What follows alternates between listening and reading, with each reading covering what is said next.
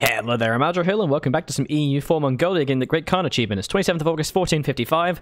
We're balancing our aggression quite well. I think we're growing very nicely. We are a bit over our force limit, but that's okay. As soon as we've got this, we're just going to take as many territories from Yeren as we can, consolidate due to our rebels. You know what? I should have just fought the rebels. I should have just fought them instead of having to create autonomy.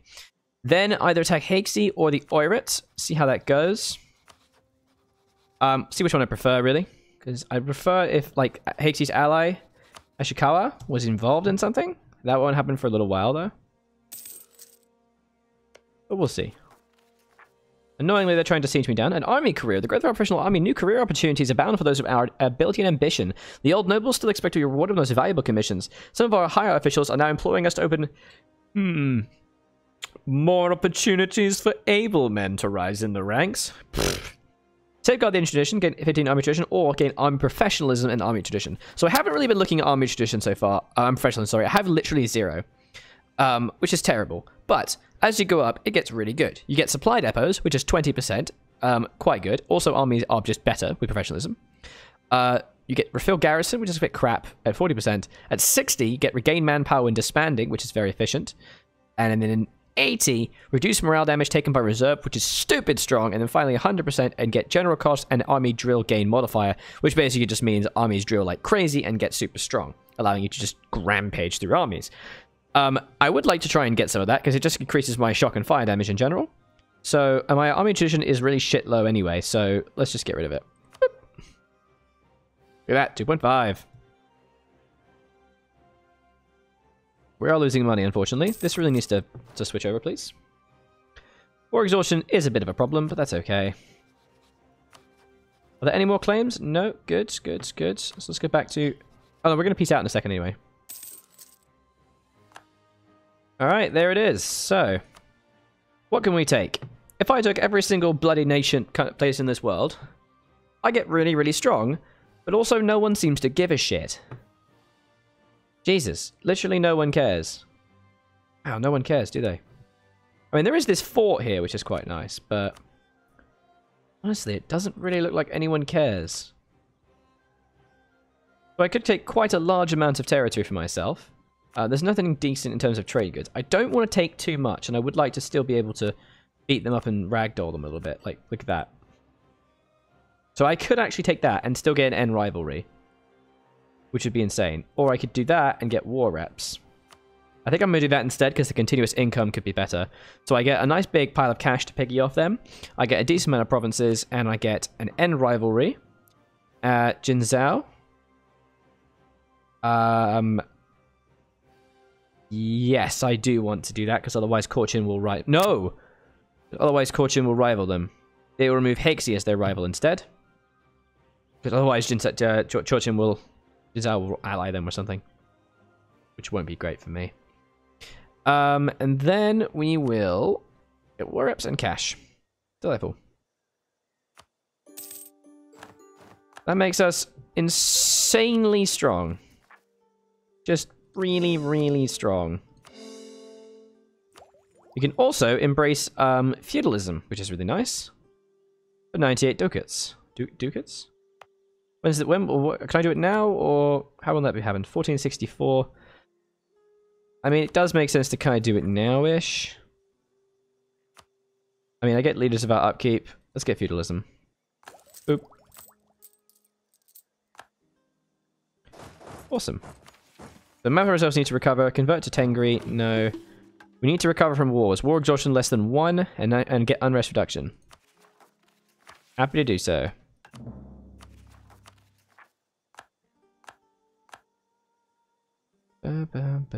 Okay, cool. Uh, we do have some too few rivals, so we can now get... Ooh. We might as well still rival Yeren. And next up, we'll rival Haixi. Now, Haixi are definitely available to be beaten into a gentle pulp, which is very, very good for us. Hmm. Our truce with these guys ends in 59. Yes, yes, yes. Da, da, da. We're definitely going to get some rebels soon, and tribes want more land. Of course they do. Don't do they ever not want land? Seriously. I'm going to try and give them some shit land. Why can't I raise this? Most developments do, though. I could raise that and get Horde Unity. But I... Mm, the power is very tasty, to be honest. Oh, there it is. Delightful. Okay, so we're gonna give them some of this shit tier land. Once the because the hordes are a little bit pissed off, it seems. All right, well, let's start getting some claims onto Haixi. If we could get a couple claims there and expand to the south. I'm a bit concerned about our rate of expansion because it is very, very high. That's troubling, but we are really strong. So that's not less troubling. House of Shipad, Everlasting Friendship, 321 Heir, Ligden. Nah, he's going to be called Genghis. Yeah, he is. Ooh, look at that. 633 Heir. Love it. Alright.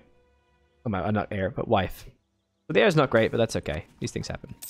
Temporary insanity of the monarch. Aborigin's acting very strange the last couple months. It seems he's suffering from a temporary crisis of insanity. Well, that does sound like me. Result left very efficient guidance. Request military guidance and lose prestige and ducats but gain tradition, or lose or gain admin power. I would like the uh, admin power, please. Because that way I can core some stuff. All right. Got some more provinces we can claim onto these guys. So these are actually permanent. These are actually core provinces over here. So I think we should definitely conquer these guys sooner rather than later. Because we have a lot of our actual core provinces to increase our strength. Oirat, I think, is fine. Like, they're going to lose provinces to Chagatai, but they're not going to lose these. So I think we should wait. I think we should focus on, on Khorchin and Haixi. When's this truce up? So it's 59. So I could actually do Haixi pretty much right now, as soon as I have this claim beat them, and then go to Jurchen. Uh, even. Which would mean I expand at a very good rate. This truce is up uh, in 71. That's no big deal at all. And then I can start, and then once I have all of this, I can start to expand to the south. Ooh. An alliance offer from Khorchin. Abso bloody not. Absolutely not. I wish I'd gone admin focus now, considering the sheer amount of admin stuff I have to deal with. Alliance offer from Qara Del. Once again, bugger off, please. Considering an alliance offer um, from Korea, but no. We're going to want to start to expand towards Korea soon. Alright. There is actually no more claims to take here. So when's this guy... When can I kill you? 66? Meh and 71 meh. So let's start getting claims on you guys. And I'm going to be fighting some rebels relatively soon in Yeren Separatists at 1.7 years, 14k. So Yeren Separatists, going to be here. Where's the highest dev province? They should be in Hilimbabo. And it has a river, so we're probably going to want to keep our troops in Udi.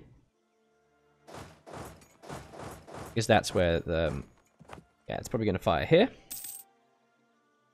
It's fine. I think we're going to want to wait for the rebels to fire first. I think that's going to be a good idea. Uh, we're going to have 14,000 men to take care of their 14,000 men. We should be alright.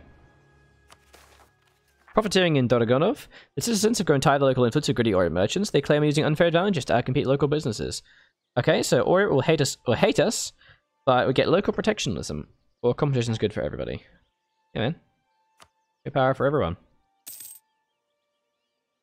Once this, once this hits 70%, I will start to increase uh, maintenance. Also, with I war enthusi war exhaustion is going to go down soon. Oh, 70%. But actually, it's going to go down actually a little bit more. Yeah, we're to want to stand in the mountains. Come on, go to 80. Go to 80.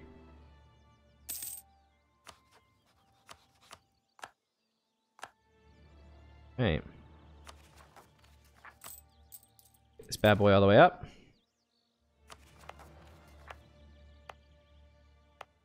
guys are all pissed off. Ah, national unrest. Damn, I don't want national unrest reduction. Rival of our rival, Korea. No. I'd actually quite like them to be upset.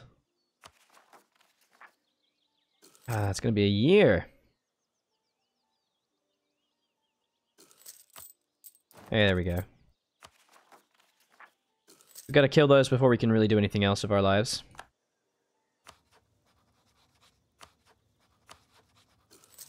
It's gonna be kind of annoying. It's gonna slow down our rate of expansion. There it is. Alright, 1st of April and 23rd of March. Oh shit, it's a 331 general. That's not good. We're actually literally just about to get a better Let's get a let's get a better one anyway. Uh, da, da, da, army officialism, Tejuin. Oops. A 1-1. Oh, goody. You're terrible. That was not worth my time.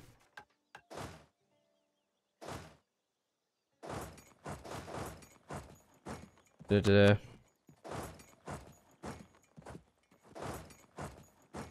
One more day. Let's see what happens, shall we? Wait about bailiff. Uh, lose the prestige. We won! But we lost several thousand men.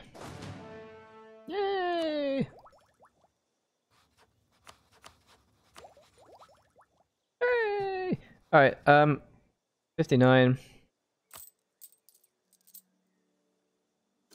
Let's, let's let some of these guys replenish, and then we'll attack Khorchin. Because we kind of need to fight them before they get any other allies.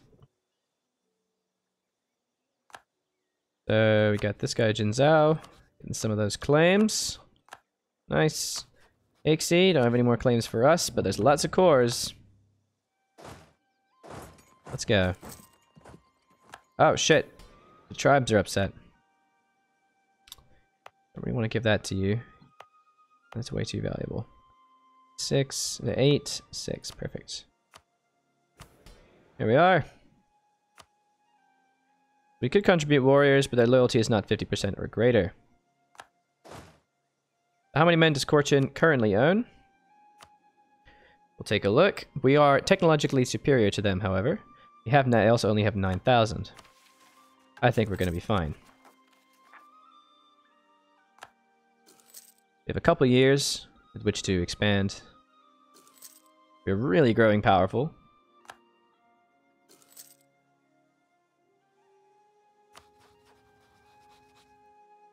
Alright, there it is. Hello, where's their capital? So their armies must be in that little area. Capital's in there, so we're going to want to rush the capital. Get right there. Yeah. And the truce is going to be up in February. Alright. We're gonna get tech 5. Probably should have got that earlier. We're gonna be two techs ahead of them. This is gonna be a slaughter.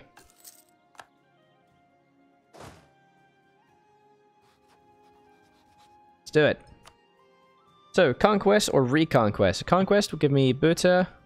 So, for four provinces, I've got 100% aggressive expansion. Reconquest will give me core return and conquest of two places. Jiram and. I don't actually want that. Or tribal feud will give me a lot reduction. Basically, this only gives me reduction for cost and aggressive expansion for the return of two provinces. But tribal feud gives me 75% aggressive expansion for all of them. And considering I'm probably going to be taking a lot of provinces, I think we should probably take this one. Let's do it. Let's see where these suckers go. National Epic? Yes, I love a good story. Thanks. Uh, income's not doing super great, so let's raise war taxes, because it's going to take at least a couple years to do the war. Here we go. Gotcha steps, and you're mine. Ah, you son of a bitch. 24th of April. You're gonna, gonna get around me. Fast. Ah, oh, they're so fast.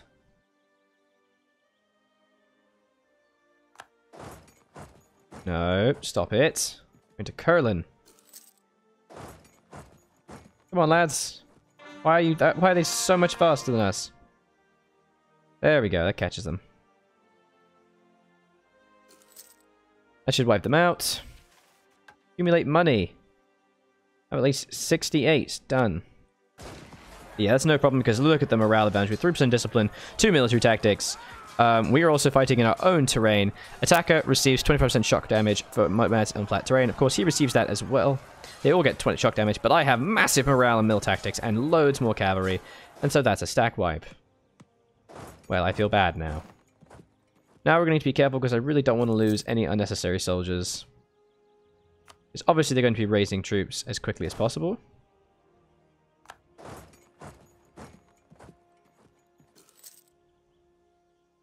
There we go.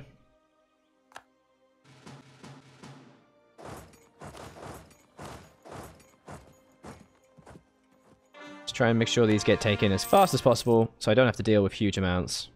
I can start the siege of the capital as quickly as possible. Hey, look at that, we caught him. Easily done. Ah, we didn't catch him. Lame. Right, no. Stop that.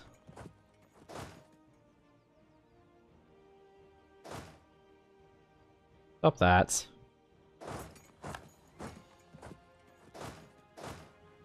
Oh, bollocks. 30th of October, 10th of November. Damn it. Every time, I swear.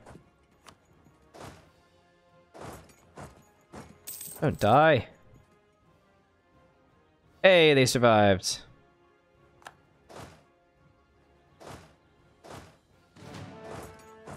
Gonna catch the rest of them.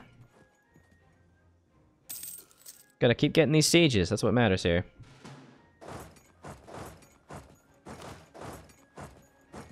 Push these guys out. And take this with, because their army is being rebuilt. I do not appreciate.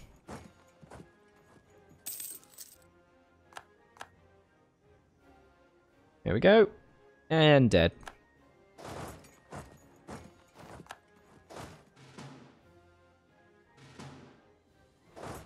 What are they doing? Where are they going? Why are they going all the way south? Where are you going? Where are you going? That trip's going to finish on the 27th of March. Plenty of time.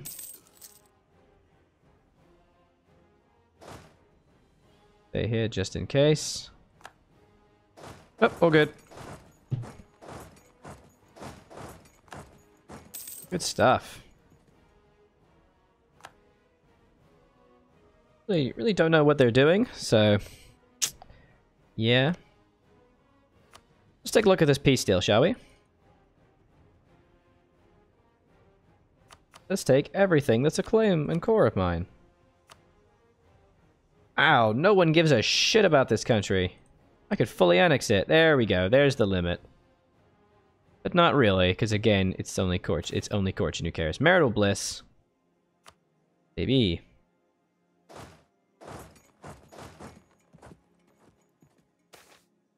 Reputation tarnished. Lose stability or 100 Diplo. Happily lose the Diplo. Thank you.